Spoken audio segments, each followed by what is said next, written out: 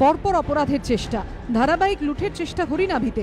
সোনারপুরে পুলিশের জালে পাঁচ দুষ্কৃতী।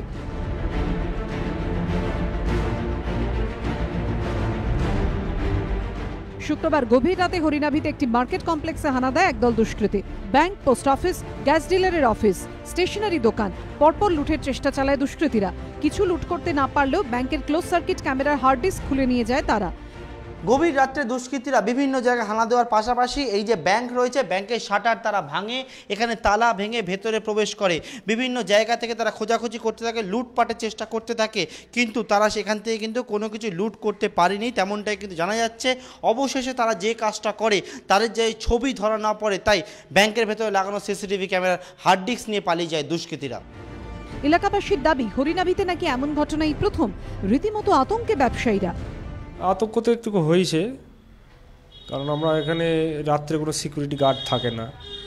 আমরা চাবি দিয়ে চলে যাই, পুলিশি টয়েলদারি হয় না। যখন গেট লক করে বেরিয়ে গেছি আমরা, তারপরে এসছে, এসে করেছে।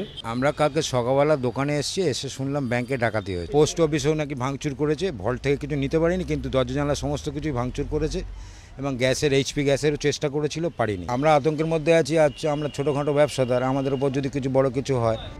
হরিনাভিতে হইচয়ের মধ্যেই এলাকা জুড়ে তল্লাশি অভিযানে নামে পুলিশ। রবিবার ভোরে হরিনাভি থেকে পাঁচ কিলোমিটার দূরে সোনারপুরের ময়লাপোতায় পুলিশি জালে ধরা পড়ে পাঁচ সশস্ত্র দুষ্কৃতী। উদ্ধার হয় বোমা, ভোজালি, চপার ও সাবুল পুলিশের অনুমান, ধৃতরা কোনো বড় অপরাধ চক্রের সঙ্গে যুক্ত। বাকি পাণ্ডাদের খোঁজেও তল্লাশি চালাচ্ছে পুলিশ। পার্থপ্রতিম ঘোষ ও রঞ্জিত হালদারের রিপোর্ট এবিপি আনন্দ।